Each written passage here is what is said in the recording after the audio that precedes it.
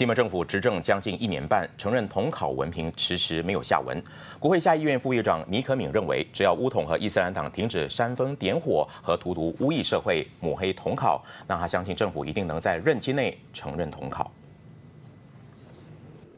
西蒙承诺执政之后承认统考文凭，但是至今都还没有兑现诺言，华社不满的声浪越来越大。国会下议院副议长尼可敏今天在霹雳金宝移交华校拨款支票时，就把矛头指向刚刚签署合作宪章的乌统和伊党。只要啊乌统和伊斯兰党不要再继续去煽风点火，不要继续去荼毒马来社会啊，我们相信啊西蒙政府将会在这一个任期内呢，哦承认独中统考文凭。我们收到的就是说他们抹黑统考是台湾的这个教学制度。其实这个根本是啊牛头不对马嘴。尼可敏狠批一党不止通过代表大会提案反对政府承认统考，一党妇女组甚至公开要求政府关闭全国华小，无视华小和旦小使用不同媒介语，但教导同一个纲要的事实。我必须在这边强调的是，